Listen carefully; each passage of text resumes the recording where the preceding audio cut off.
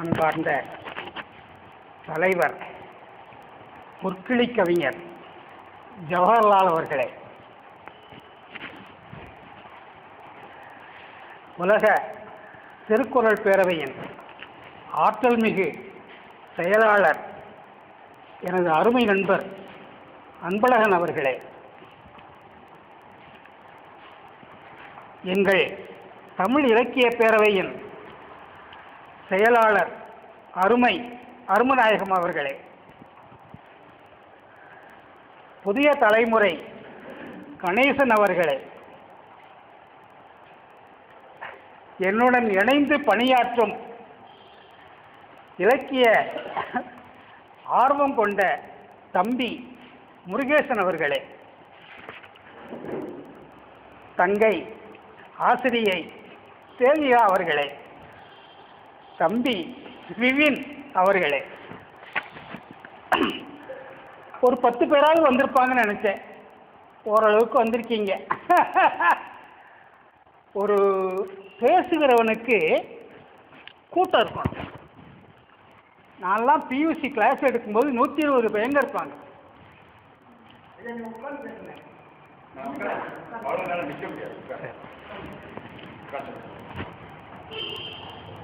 அந்த மாதிரி நூற்றி இருபது பையன்களுக்கு பேசி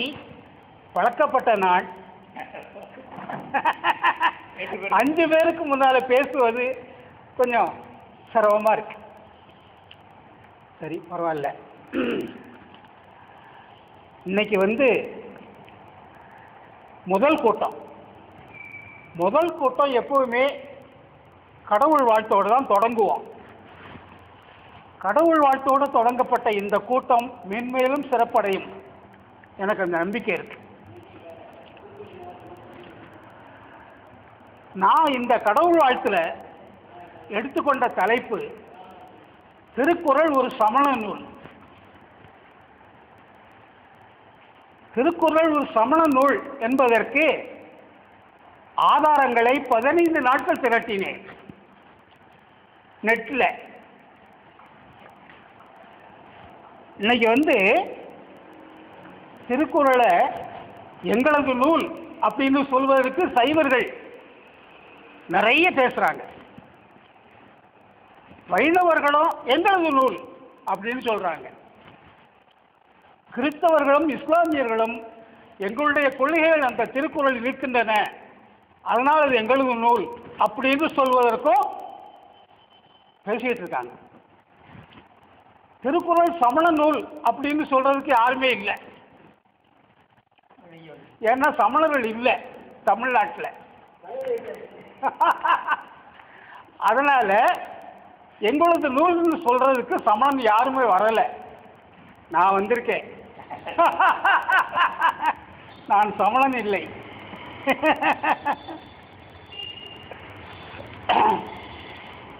இது சமண நூல் அப்படிங்கிறதுக்கு நிறைய ஆதாரங்களை தேடி இருக்கேன் இது சமண நூல் அப்படிங்கிற ஆதாரங்களை சொல்வதற்கு முன்னால் இந்தியாவினுடைய பழங்கால வரலாறு தெரியணும் இந்தியா முழுவதும்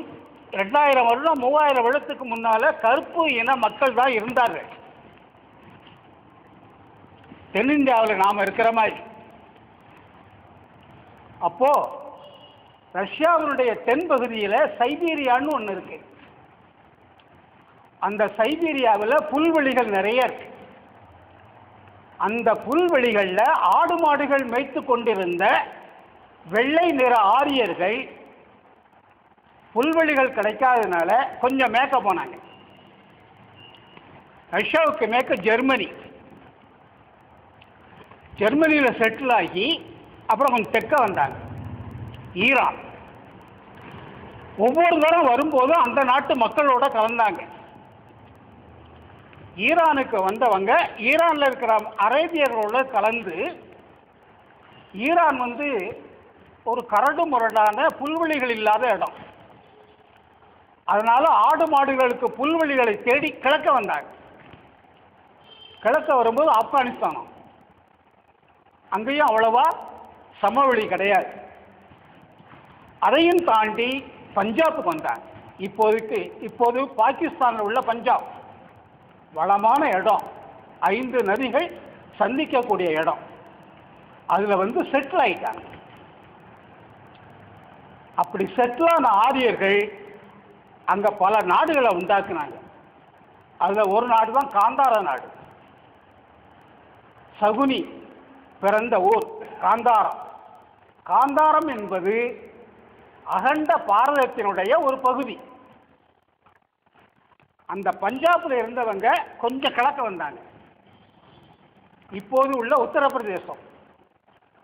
அப்போதைக்கு உத்தரப்பிரதேசத்தில் உள்ள மக்கள் எல்லாம் கருமையானவர்கள் ஞாபகம் வச்சுக்கோங்க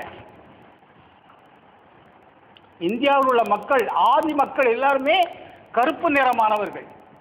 வெள்ளை கலர் கிடையாது அங்கிருந்து வந்த வெள்ளை நிற ஆரியர்கள் உத்தரப்பிரதேசத்தில் உள்ள பல நாடுகளில் உள்ள மக்களோடு கலந்தார்கள் அவங்க கலக்கிறதுக்கு முன்னால் அவங்களுடைய செயல் என்னன்னா அவங்க மேய்ச்சிக்கிட்டு இருந்தது ஆடு மாடு குதிரை இந்த மூன்று பிராணிகளையும் வேள்வி யாகம் யஜ்யம் அப்படின்னு சொல்லக்கூடிய தீயை வளர்த்து அந்த தீயில் அந்த பிராணிகளை போட்டு வேக வச்சு அதை வெளியே எடுத்து மலையில் சோமப்பூண்டுன்னு ஒரு பூண்டு விளையுது அந்த பூண்டு சோமப்பூண்டு அந்த பூண்டை கசக்குவாங்க அதிலிருந்து ஒரு சாறு வரும் அந்த சாரை கொதிக்க வச்சு வடிகட்டுவாங்க வடிசாராயம் அந்த வடிசாராயத்துக்கு சோமபானம்னு பேர் அந்த சோமபானத்துக்கு பின்னால சுரபானம்னு பேர் வச்சாங்க அந்த பானத்தை குடித்து ஆணும் பெண்ணும் தீய சுற்றி டான்ஸ் ஆடுவாங்க இதுதான் ஆரியர்களுடைய பழக்கம் ஆடு மாடு மேய்ப்பாங்க ஆடு மாடை பொண்ணு திம்பாங்க இது வட இந்தியாவில் உள்ள கருப்பு நிற மக்களுக்கு பிடிக்கலை அந்த கருப்பு நிற மக்கள்களில் ஒரு ஞானி தோன்றினார் கிமு ஆறாம் நூற்றாண்டில் வர்த்தமான மகாவீரர் அப்படின்னு ஒரு ஞானி அவர் ஜைன மதம் அப்படின்னு ஒரு மதத்தை ஸ்தாபித்தார் அந்த ஜைன மதத்தினுடைய கொள்கை முக்கியமான கொள்கை உயிர் வரை செய்யாதே கொலை செய்யாதே மாமிசம் சாப்பிடாதே கள்ளு குடிக்காத இந்த மூணும் தான் அந்த ஜைன சமயத்தினுடைய முக்கியமான கொள்கை இந்த கொள்கைகளை ஆதார கொள்கைகளாக வைத்து ஜைன மதத்தை வர்த்தமான மகாவீரர் பல சீடர்களுக்கு போதித்தார்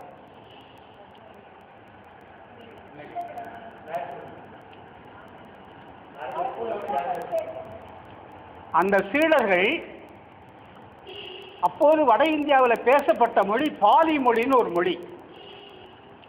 அந்த பாலி மொழி இலக்கியத்தில் பிராகிருதம் பிராகிருத மொழி என்று சொல்வார்கள் அந்த பிராகிருத மொழிகளில் அவருடைய சீடர்கள் பல நூல்கள் எழுதினார் அந்த நூல்கள் எல்லாம் சமஸ்கிருதத்துக்கு மாற்றப்பட்டு சமஸ்கிருதத்தில் இருக்கு இந்த ஆரியர்களுடைய ஒரு செயல் என்னன்னா பிராகிருதம் அப்படிங்கிற நூலில் மொழியில் எழுதப்பட்ட எல்லா நூல்களையும் தங்களுடைய சமஸ்கிருத நூலில் எழுதிட்டு பிராகிருத நூல்களை அழிச்சிடுவாங்க அழிச்சிட்டு என்ன சொல்லுவாங்கன்னா எங்கள் சமஸ்கிருதத்தெல்லாம் எல்லா மொழியும் எல்லா நூல்களும் இருக்குது அப்படின்னு சொல்லுவாங்க இது தமிழ்நாட்டையும் நடந்திருக்கு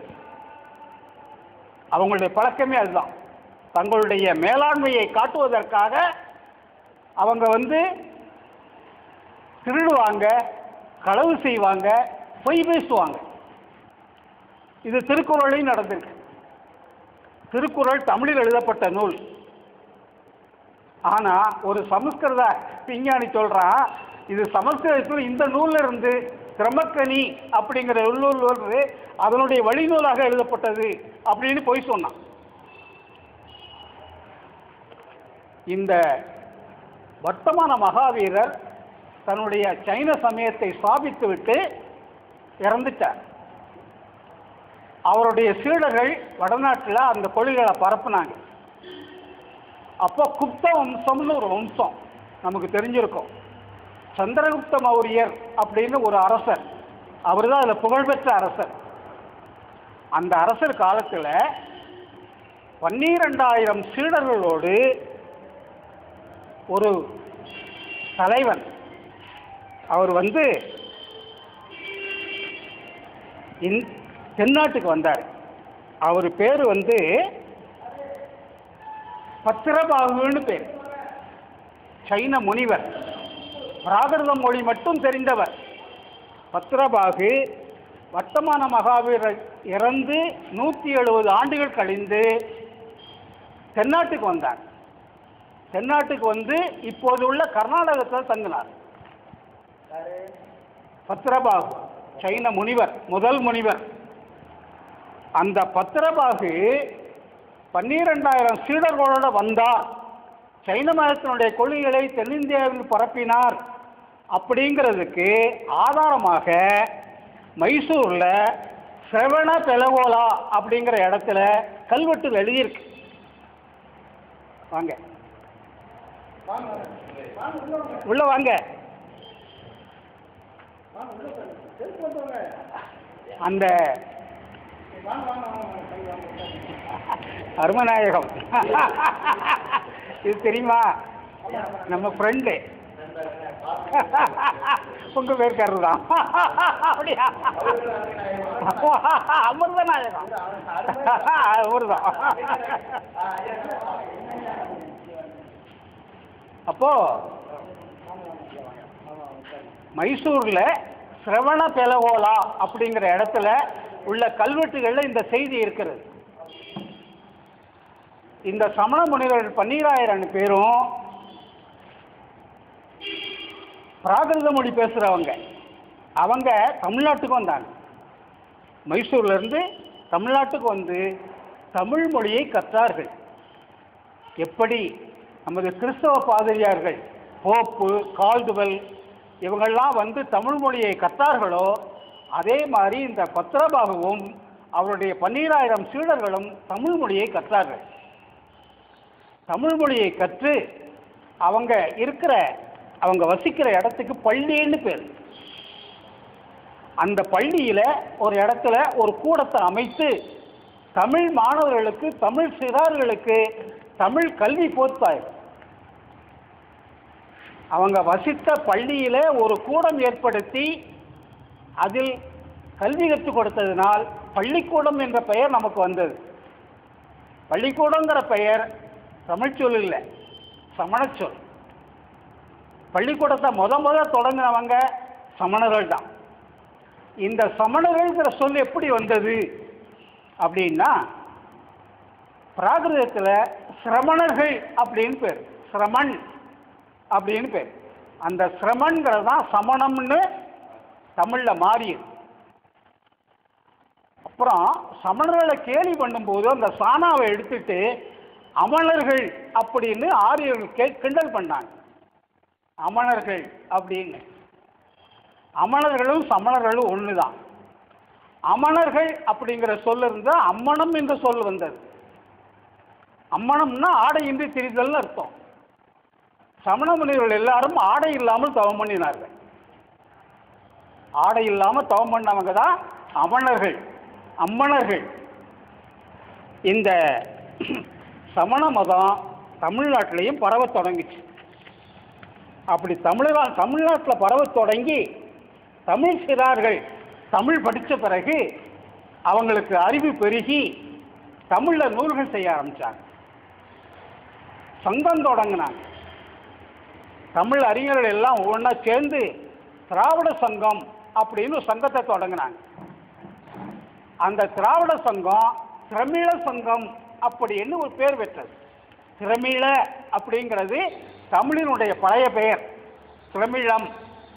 திராவிடத்தில் பேசப்பட்ட மொழின்னு பேர் அந்த திரமிழம் என்பதுதான் தமிழ் என்று மாறியது தமிழுக்கு ஆரிஜின் அதுதான் திராவிட திரமிழ தமிழ அந்த திரமிழ சங்கம் இருக்கு இல்லையா அந்த சங்கத்தில் ஒரு தலைவர் ஒருத்தர் இருந்தார் அப்போ ஏழாச்சாரியார்னு பேர் அது ஏழாச்சாரியாரா ஏழாச்சாரியாரா எனக்கு தெரியல அவர் தான் திருக்குறளை எழுதினார் அப்படிங்கிறது பின்னால சொல்லப்பட்டது இதுக்கு சார்ந்து இல்லை ஆக தமிழ்ச்சங்கத்தை தொடங்கி வைத்த உருவாக்கிய தலைவர் ஏலாச்சாரியார் தான் திருக்குறளை எழுதினார் என்பது பின்னால் சொல்லப்பட்டது அதுக்கு ஆதாரம் என்கிட்ட இல்லை அப்புறம் இந்த சமண முனிவர்கள் தமிழர்கள் அவங்க வந்து பதினெட்டு கணக்கு அப்படிங்கிற பதினெட்டு நூல்களில் சில நூல்களை எழுதியிருக்காங்க நாலடி நான்மணி நானாற்பது ஐந்திணை முப்பால் கடுகம் மூலம் பழமொழி இந்நிலைய காஞ்சியோடு ஏழாது என்பவே கைநிலையவாம் கீழ்கணக்கு அப்படின்னு பதினெட்டு நூல்கள் அந்த பதினெட்டு நூல்களில் சில நூல்கள் பௌத்த நூல்கள் எப்படி சைன சமயத்தினர் வந்தார்களோ அதே மாதிரி பௌத்தர்களும் வந்தாங்க தென்னிந்தியாவுக்கு பௌத்த நூல்கள் சில நூல்கள் சமண நூல்கள் சில நூல்கள் சமணமும் இல்லை பௌத்தமும் இல்லை அறி அறிவு அறநூல்கள் இந்த பதினெண்டு பதினெட்டு நூல்களில் முக்கியமான நூல் ரெண்டு ஆளும் வேலும் பல்லுக்குருதி நாலும் இரண்டும் சொல்லுக்குருதின்னு சொல்கிறோம் இல்லையா அந்த நாலுங்கிறது நாலடியார் இரண்டு என்பது திருக்குறள் இந்த நாலடியாரும் திருக்குறளும் தமிழுக்கு அறநூல்கள் அப்படின்னு பேர் இந்த அறநூல்களில் முக்கியமான நூல்கள் நாளடியாரும் திருக்குறள் நாலடியாரில் நானூறு பாடல்களையும் எழுந்தது சமண மனிதர்கள் நமக்கு தெரியும் அப்போ திருக்குறள் எழுந்தது சமணராக தான் இருக்கணும் ஏன்னா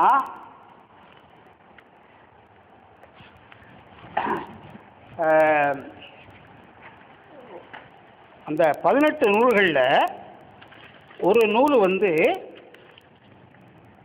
ஏலாதி அப்படின்னு ஒரு நூல் அந்த ஏலாதி அந்த சாரி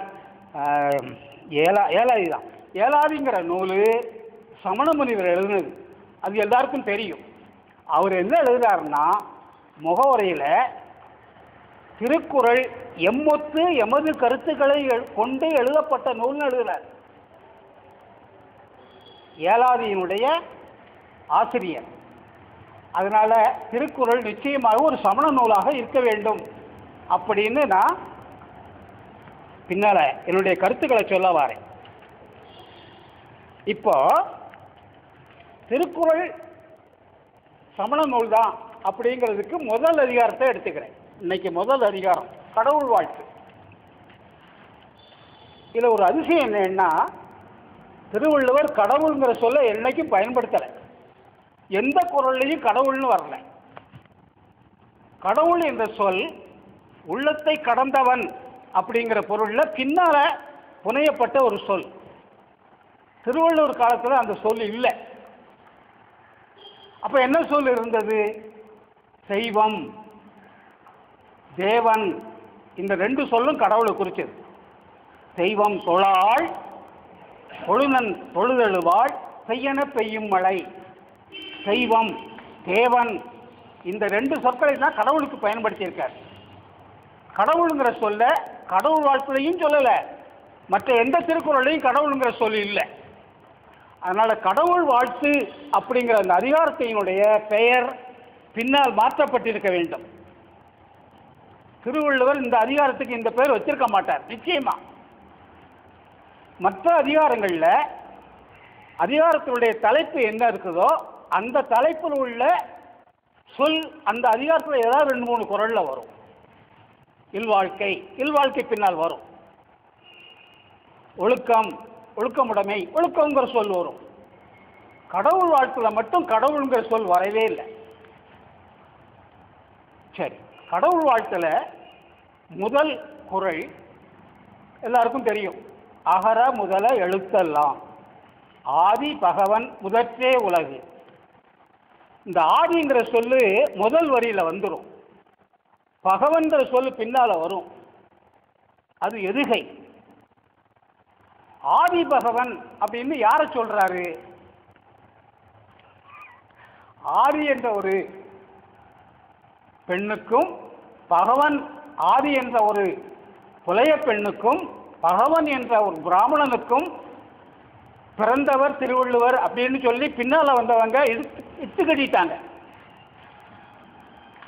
உண்மையிலே அது பொருள் இல்லை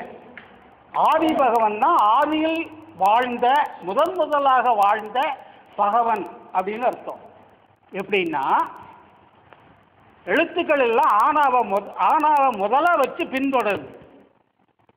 அதே மாதிரி ஆதியில் பகவன் ஒன்று ஒருத்தர் இருந்தார் அவரை பின்தொடர்ந்து மனிதர்கள் எல்லோரும் வாழ்க்கை நடத்த வேண்டும் திருவள்ளுவர் என்ன சொல்கிறாருன்னா எழுத்துக்களுக்கு எப்படி ஆனா முதன்மையோ அதே மாதிரி மனித குலத்துக்கு மனிதர்களுக்கெல்லாம் முதன்மையானவர் பகவன் இந்த பகவன்கிறது யாரு இவருக்கு பேர் விருஷபதேவர்னு பேர் இவர் தான் சமண மதத்தினுடைய முதல் முனிவர் ஆதி சமண முனிவர் அவர்தான் விருட்சபதேவர் அதனால் இந்த விருட்சபதேவருங்கிற முதன் முதலாக இருந்த சமண மதத்துக்கு இருந்த தீர்த்தங்கரர் பகவன் அவருடைய கருத்துக்கள் படி அவர் வாழ்ந்தபடி உலகத்தில் உள்ள மனிதர்கள் எல்லாம் வாழ வேண்டும் என்பது அந்த குரலுக்கு அர்த்தம் ஸோ ஆதி பகவன்கிறது சிவனை குறிப்பது அல்ல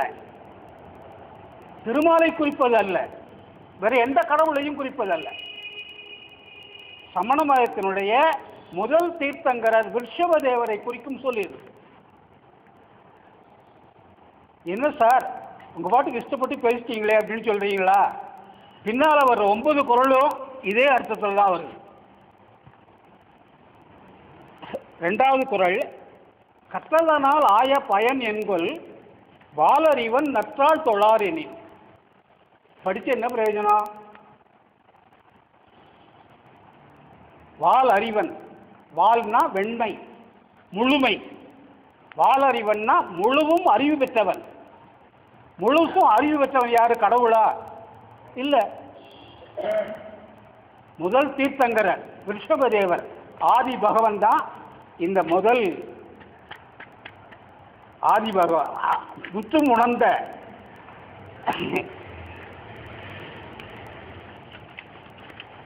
கற்றதனாலாய பயணங்கள் வாளறிவன் நற்றால் தொழார் எனேன் மூன்றாவது குரல் இந்த விருட்சப தேவன் சொல்கிறேன் இல்லையா ஆதி பகவன் சமண முனிவர்களுடைய முதன்மையானவர் அவர் வந்து ஒரு மலர் மேல் இருந்தார் அப்படின்னு சமணர்கள் சொல்லுவாங்க அதனால தான் மலர்மிசை ஏகினான் மானடி சேர்ந்தார் நிலமிசை நீடு வாழ்வார் மலர் மீசை ஏகினாங்கிறது பிரம்மன் இல்லை திருமாலுடைய கொப்பிலிருந்து ஒரு மலர் தோன்றி அந்த மலர் இருக்கக்கூடிய பிரம்மன் இல்லை விருட்சபதேவர் மலரின் மேல் இருக்கக்கூடிய பகவான் என்ற விருட்சபதேவர் அவர் அவர் சொல்கிற மாதிரி அவருடைய அடிகளை சேர்ந்தால் மாட்சிமை புரிந்திய பாதார விந்தங்களை சரணடைந்தால் இந்த நிலத்தில் நீடூடி வாழலாம் சைவத்திலையும் இந்து மதத்திலையும் திருவடிகளை தொழுதல் அப்படின்னு ஒன்று வரும் காலில் விழுந்து சாஷ்டாங்கமாக நமஸ்காரம் பண்ணுறோம் இல்லையா அதுக்கு என்ன அர்த்தம் அதுக்கு ஒரு அர்த்தம் இருக்கு உன்னுடைய கால் எங்கெங்க நடந்ததோ அங்கேயெல்லாம் நான் வருவேன் கால் நடந்ததுன்னா என்ன அர்த்தம் உன்னுடைய வாழ்க்கை எப்படி எப்படி இருந்ததோ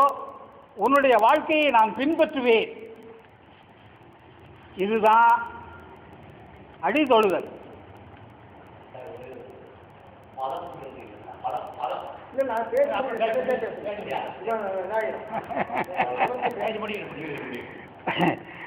மலர் மீது வீற்றிருக்கும் ஆதி பகவனது வாழ்க்கையை பின்பற்றி வாழ்பவர்கள் இந்த உலகில் நீடூழி காலம் நிலைத்து வாழ்வார்கள் அடுத்தது நான்காவது குரல் வேண்டுதல் வேண்டாமை இலான் அடி சேர்ந்தார்க்கு யாண்டும் இடும்பையில நமக்கு எல்லாத்துக்கும் இது வேணும் அது வேண்டாம் நம்ம எல்லாருமே வேண்டுதல் வேண்டாமை இலான் தான் உள்ளவர்கள் தான் இந்த தேவரன் சொல்லக்கூடிய முதல் தீர்த்தங்கிற ஆதி பகவனுக்கு வேண்டுதலும் கிடையாது வேண்டாதலும் கிடையாது அப்படி வேண்டுதல் வேண்டாமை இல்லாத முதல் ஆதி பகவனை தொழுது வாழ்ந்தால் நமக்கு எந்த துன்பமும் வராது அவருடைய வாழ்க்கையை பின்பற்றி நடந்தால் எந்த துன்பமும் வராது இதுதான் அந்த குரலுக்கு அர்த்தம் அடுத்தது ஐந்தாவது குரல் இருள் சேர் இருவினையும் சேரா இறைவன் பொருள் சேர் புகழ் புரிந்தார் மாட்டு இருவினை அப்படிங்கிறது நல்வினை தீவினை நம்ம செய்யக்கூடிய கெட்ட காரியங்கள் நல்ல காரியங்கள் நல்வினை தீவினை இந்த ரெண்டும் சேர்ந்து தான் நம்மளை வந்து பிறவி கடலில் தள்ளுது பிறவி எடுக்கிறதுக்கு இந்த பிறவி உண்டுன்னு சமணம் அதை நம்புது பிறவி பெருங்கடல் நீந்துவர் நீந்தார் இறைவனடி சேர்ந்தார்னு பின்னால் சொல்கிறார் இந்த பிறவிக்கு முக்கியமான காரணம் இருவினை தான் இந்த இரண்டு வினைகளும் ஆதி பகவனுக்கு போய் சேராது அவங்ககிட்ட இந்த ரெண்டு வினையும் வராது அப்படி அந்த ஆதிபகவனுடைய அவனுடைய புகழை பாடி அவன் வாழ்ந்த மாதிரி வாழ்ந்தவர்களுக்கு எந்த விதமான இக்கு இருக்கணும் வராது அடுத்தது ஆறாவது குரல் பொறிவாயில் ஐந்தவித்தான் பொய்தீர் ஒழுக்க நெறி நின்றார் நீடு வாழ்வார் பொறி அப்படிங்கிறது அஞ்சு வாய் கண் மூக்கு செவி இந்த அஞ்சும் மெய் வாய் செவி கண் மூக்கு அஞ்சு இதிலிருந்து வரக்கூடிய புலன்கள் ஊறு சுவை ஒளி நாற்றம் ஓசை இந்த ஐந்து புலன்களும் இஷ்டம் போல அலையுது பார்ப்பான் அகத்திலே பால் பசு ஐந்து உண்டு மேய்ப்பாரும் இன்றி வெறித்து திரிவன மேய்ப்பாரும் உண்டாய் வெறியும் அடங்கினால் பார்ப்பான் பசு ஐந்தும் பாலாய் சொரியுமே திருமூலர் சொல்றார் உள்ள அர்த்தம் வேற ஐந்து புலன்களையும் எவன் அடக்கி ஆளுகின்றானோ அவன் வாழ்வில் இன்பம் சுரக்கும் இதைத்தான் இந்த குரலில் சொல்றாரு ஐந்து பொறிகளையும் அடக்கி ஆண்டவன் விருஷபதேவன் முதல் தீர்த்தங்கரர் ஆதிபகவன் அவருடைய வழியிலே நம்மளும் நடக்க வேண்டும் அப்படி நடந்தா நீண்ட காலம் வாழலாம் அப்புறம் ஏழாவது குறை தனக்கு ஓமை இல்லாதான் தாழ் சேர்ந்தார்கல்லால் மனக்கவலை மாற்ற அறிவு முதல் தீர்த்தங்கர தனக்கு ஓமை இல்லாதவன் தனக்கு ஓமை இல்லாதவன் சிவபெருமான் இந்து மதத்தில் தனக்கு ஓமை இல்லாதவன் திருமால் வைஷ்ணவ மதத்தில் சமண மதத்தில் தமக்கு ஓமை இல்லாதவன் முதல் தீர்த்தங்கரர் பகவன் அவருடைய தாளை சேர்ந்தால் தாழ் சேர்ந்தால்னா சொல்லியிருக்கேன் அவருடைய வாழ்க்கைப்படி நம்ம நடக்கணும் அதுதான் தாழ் சேர்தல் அப்படிங்கிறதுக்கு அர்த்தம் அப்படி இருந்தால் மனக்கவலை வராது அடுத்தது எட்டாவது குரல் அறவாளி அந்தணன் தாழ் சேர்ந்தார்கல்லால் பிறவாளி நீச்சல் அறிவு அறம் அறவாளின்னா அறம் என்ற கடல் அறம்ங்கிறதுக்கு திருவள்ளுவர் வந்து டெஃபினிஷன் கொடுக்காரு அழுக்காறு அவா வெகுளி இன்னாச்சொல் இந்நான்கும் எழுக்கா என்றது அறம் இந்த நாளையும் விட்டுட்டா ஒரு மனிதன் தெய்வமாயிடுவான் அழுக்காறு பொறாம அவா பேராசை வெகுளி கோவம் இன்னா சொல் கெட்ட வார்த்தைகளை ஏசுறது இந்த நாள் இல்லைன்னா ஒரு மனிதன் தெய்வமாகிவிடுவான் இந்த நாள் நம்ம எல்லாத்தையும் இருக்கு இந்த அந்தணன் அப்படிங்கிறதுக்கும் டெஃபினேஷன் சொல்றாரு அந்தணர் என்போர் அறவோர் மற்றெவ்வுயிர்க்கும் செந்தன்மை போன்றுள்ளதலார் இந்த பிராமணங்க போகிறோம் நாங்கள் அந்தணங்கன்னு சொல்லிகிட்டு இருக்காங்க தே ஆர் நாட் அந்தனர் தே ஆர் பார்ப்பார்கள் பார்ப்பனர்கள் பார்ப்பனர்கள் வேற அந்தணர்கள் வேற இந்த அறக்கடவுளாகிய அந்தணனாகிய முதல் தீர்த்தங்கரர் ஆதி பகவானை சேர்ந்து விட்டால் மறுபிறப்பு நமக்கு கிடையாது பிறவிகள் தோறும் வரமாட்டோம் அடுத்தது ஒன்பதாவது குரல் கோளில் பொறியின் புனம் இலவே எண்குணத்தான் தாளை வணங்காத்தலை எண்குணத்தான் அப்படிங்கிறது ஆதி பகவன் தான் எட்டு குணங்கள் என்னங்கிறது பரிமேலழகர் சொல்கிறார் தன்வயத்தன் ஆதல் தூய உடம்பினன் ஆதல் இயற்கை உணர்வினன் ஆதல் முற்றும் உணர்தல் இயல்பாகவே பாசங்களிலிருந்து நீங்குதல் பொருள் உடைமை முடிவில் ஆற்றல் உடைமை வரம்பையில் இன்பம் உடைமை இதையே இங்கிலீஷில் சைன மதத்தில் பிராகிருதத்தில் எழுதியிருந்தது இங்கிலீஷில் டிரான்ஸ்லேட் பண்ணியிருக்காங்க perfect fight infinite knowledge infinite cognition extreme fitness interpenetrability stationariness undisturbable please extreme love நான் ஒவ்வொருத்தருக்கும் ஒவ்வொரு காப்பி தாரேன் இந்த ஐந்து புலன்களையும் அடக்கிய ஆண்டவர் முதல் ஆதி பகவான் இந்த ஐந்து புலன்களையும் நம்மளும் அடக்கி வாழணும் மனிதர்கள் எப்படி ஆனாவிலிருந்து மற்ற எழுத்துக்கள் வருகிறதோ அதே மாதிரி விருஷப தேவர் ஆதி பகவனுடைய கொள்கைகளைப்படி நாம் எல்லோரும் மனிதர்கள் எல்லாம் வாழ வேண்டும் பத்து குரல் முடிஞ்சுதா பத்து குரல்லையும் அவர் ஆரிய பகவானை தான் சொல்கிறார் ஒரு எந்த கடலையும் சொல்லலை அப்புறம் கொஞ்சம் சொல்லணும் உங்களுக்கு திருவள்ளுவர் சமணர் இது சமண நூல் அப்படிங்கிறதுக்கு ஆதாரங்களோடு சொல்லியிருக்கேன் அந்த சமணம் என்னாச்சு கிமு மூன்றாம் நூற்றிலிருந்து கிபி மூன்றாம் நூற்றாண்டு வரைக்கும் கர்நாடகாவிலிருந்து கலப்புரர்கள் அப்படின்னு ஒரு முரட்டு ஜாதியார் வந்தாங்க அவங்க தமிழ்நாட்டுக்கு வந்தாங்க தமிழ்நாட்டு வந்து தமிழ் மன்னர்களை எல்லாம் தோற்கடித்து அவங்களுடைய ஆட்சியை நிறுவினார்கள்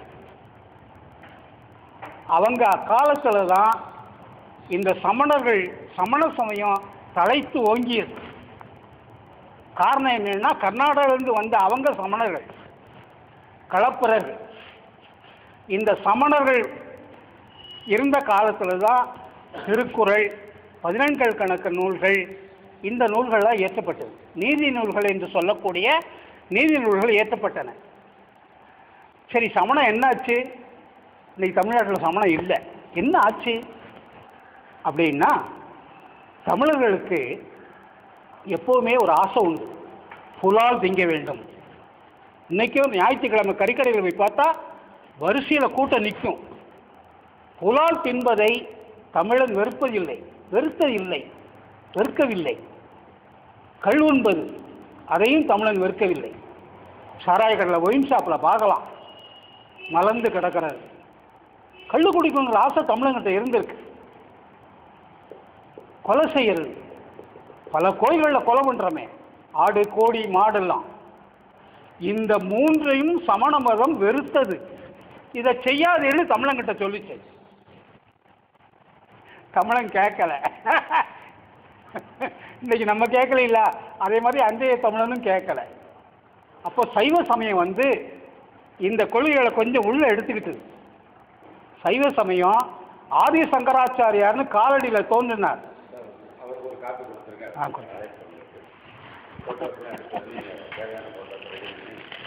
சைவ சமயம்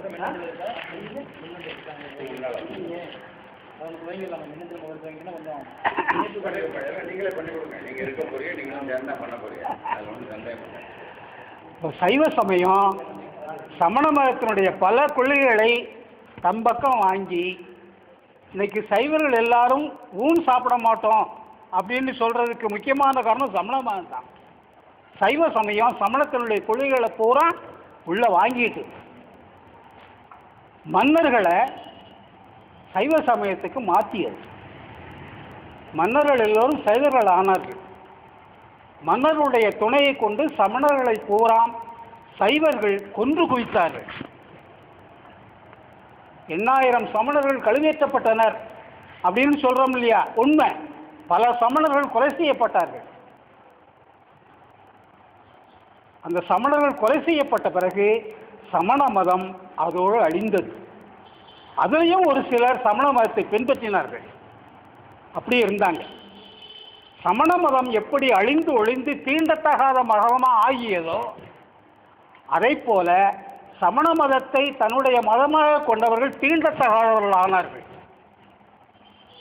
அன்டச்சபிள் தீண்டாம் தீண்டத்தகாதமை அப்படிங்கிறதெல்லாம் சைவ மதம் வந்த பிறகு தான் வந்துச்சு சமண மதத்தில் தீண்டத்தாதவர்கள் யாரும் கிடையாது சைவம் வந்த பிறகு சமுதாயத்தில் உள்ள தமிழ் மக்களில் உள்ள பலரை தீண்டத்தாதவர்கள் என்று ஒதுக்கி வைத்தது சாதியினுடைய பேரை சொல்லட்டுமா இன்றைக்கு பல்லர்கள் பறையர்கள் என்று சொல்லக்கூடிய ஜாதியார்கள் எல்லாம் அந்த காலத்தில் சமணர்களாக இருந்தவர்கள் அதனால் அவங்களை தீண்டத்தாதவர்கள் இருந்து இந்த பார்ப்பனர்கள் ஒதுக்கி வைத்தார்கள் ஆக சமண மதம் தமிழ்நாட்டை விட்டு மறைந்தது ஆனால் சமண நூல்களை எப்படியோ பாதுகாத்து வச்சுட்டாங்க இந்த தீண்டத்தகாதவர்கள் பாதுகாத்து வச்சிருந்தாங்க இல்லைன்னா